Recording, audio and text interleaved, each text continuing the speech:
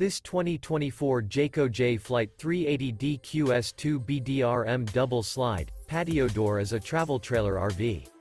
It is located in Williamstown, New Jersey, 08094 and is offered for sale by White Horse RV Center. This new Jayco and features two slide-outs, a modern farmhouse interior, sleeps 10, auxiliary battery, air conditioning, slide-out, and 80 gallons fresh water capacity.